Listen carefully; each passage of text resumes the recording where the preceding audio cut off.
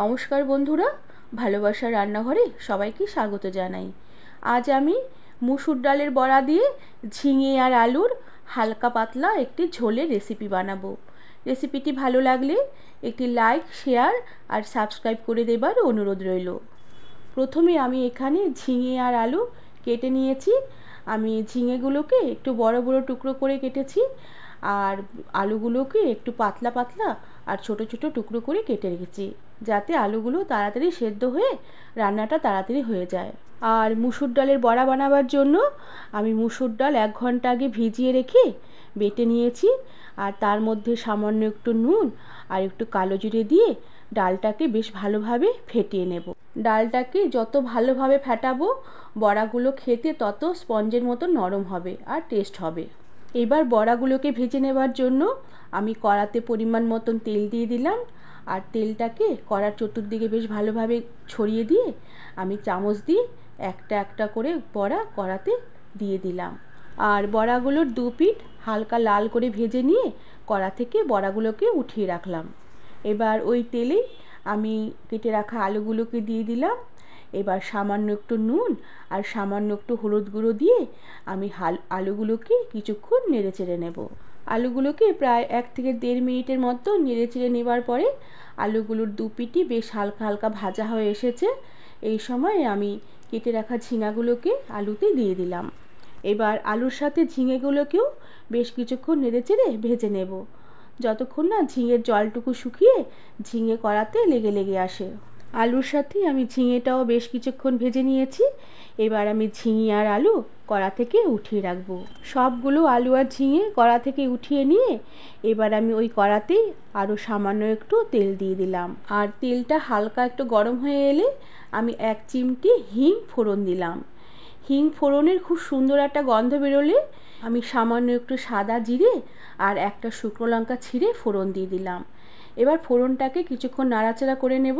এবার সামান্য একটু আদা কুড়িয়ে জলে ভিজিয়ে রেখেছিলাম। সেই কোরানো আদা জল সমেত দিয়ে দিলাম।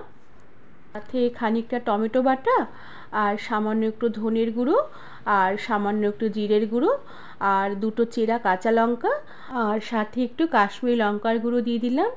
এতে এই ঝোলের কালারটা বেশ ভালো আসবে। আর তার সাথে পরিমাণ মতন নুন আর পরিমাণ মতন হলুদ গুঁড়ো আরও সামান্য একটু জল দিয়ে মশলাটাকে এবার আমি কষিয়ে নেব। আমি কাঁচা লঙ্কা মাত্র দুটোই দিয়েছি।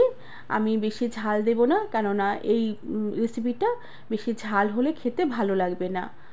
বেশ একটু হালকা হালকা ঝাল হলে এই রেসিপির স্বাদটা বেশ ভালো খুলবে।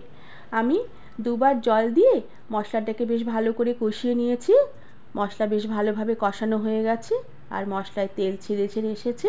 এই সময় আমি ভেজে রাখা ঝিঙে আর আলুটাকে মশলাতে দিয়ে দিলাম। আর ঝিঙে আর আলুগুলোকেও আমি মশলার সাথে আবারও কিছুক্ষণ নেড়ে চেড়ে কষিয়ে নেব। আমি আলু আর ঝিঙে মশলার সাথে বেশ কিছুক্ষণ কষিয়ে নিয়েছি। এবার আমি কয়েকটা চিনির দানা দিয়ে দিলাম। এই রেসিপিটি সামান্য একটু চিনি দিতে হবে, তাহলে বেশ এর স্বাদটা ভালো খুলবে আর এবার আমি ঝোলের জন্য পরিমাণ মতন জল দিয়ে দিলাম। আর গ্যাসের ফ্লেমটাকে কম করে দিয়ে ঢাকা দিয়ে রেখে প্রায় তিন থেকে চার মিনিটের মতন আমি ঝোলটাকে ফুটতে দেব। প্রায় চার মিনিটের মতন আমি ঝোলটাকে ফুটিয়ে নিয়েছি। ঝিঙে আর আলু খুব সুন্দরভাবে সেদ্ধ হয়ে গেছে। এবার আমি ভেজে রাখা বড়াগুলোকে ঝোলে দিয়ে দিলাম। আর একটি খুন্তি দিয়ে বড়াগুলোকে ঝোলের মধ্যে একটু চেপে চেপে দিয়ে আমি প্রায় আরও এক মিনিটের মতন বড়াগুলোকে ঝোলের মধ্যে ফুটিয়ে নেব। এরপর গ্যাস বন্ধ করে দিয়ে সামান্য একটু ঘি উপর থেকে ছড়িয়ে দিয়ে আমি ঢাকা দিয়ে কিছুক্ষণের জন্য রেখে দেব। বন্ধুরা আমার এই মুসুর ডালের বড়া দিয়ে ঝিঙে আলুর এই হালকা পাতলা ঝোলের রেসিপিটি তোমাদের কেমন লাগল, আমাকে তোমরা অবশ্যই কমেন্ট করে জানাবে। আর ভালো লাগলে একটি সাবস্ক্রাইব করে দেবে। তাহলে আজকে আসি, পরে আরও একটি নতুন রেসিপি নিয়ে দেখা হবে। ধন্যবাদ বন্ধু।